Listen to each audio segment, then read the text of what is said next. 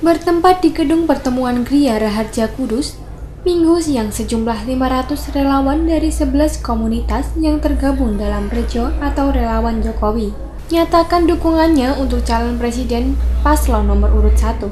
Dengan mendeklarasikan dukungannya, ratusan sekelompok masyarakat dari berbagai komunitas di Kudus tersebut siap mengawal pemilu 2019 untuk menangkan Jokowi Ma'ruf setelah melakukan deklarasi. Semua elemen pendukung harus menunjukkan kinerjanya dengan merangkul masyarakat lain untuk mendukung Jokowi Ma'ruf kembali memimpin Indonesia.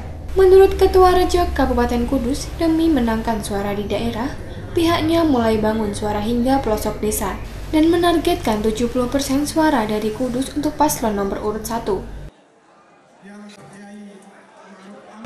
Bahwa kita Kudus itu ingin negara NKRI itu tetap di mata dunia maupun di mata seluruh masyarakat bahwa Kudus ini untuk mendukung Pak Jokowi karena kepemimpinannya adalah sangat baik untuk Indonesia.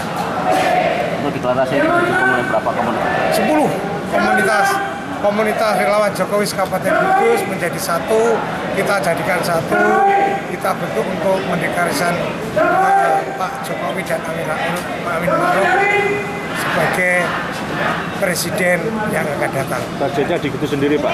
Targetnya di Kudus, saya minta pada rekan-rekan dan seluruh masyarakat Kudus paling tidak apa yang disampaikan 70 persen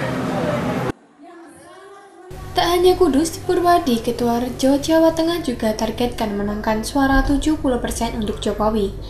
Jaringan yang terbentuk seperti Rejo Kudus berharap mampu meningkatkan elektabilitas Jokowi Ma'ruf. Untuk Rejo sendiri, kami memang perlu diamanahkan untuk yang di Jawa Tengah. Saya Pak Haji Purwadi, Ketua Rejo Jawa Tengah, uh, menerima positif pada teman-teman yang saat ini bergabung kepada komunitas relawan Jokowi yang di Kabupaten Kudus. Mudah-mudahan dengan adanya deklarasi ini kita untuk khususnya Kabupaten Kudus untuk Pak Jokowi amin amin. Raja Tengah Jawa Tengah sendiri itu adalah untuk memenangkan Pak Jokowi amin 70 persen. Jadi nanti untuk langkah-langkah berikutnya tanggal 16 Februari 15 15 Februari ini sama tanggal 16 Februari kita adakan di PRPP dengan mengundang mengundang semua relawan seluruh Jawa Tengah yang insya Allah akan dihadiri oleh Pak Jokowi sendiri.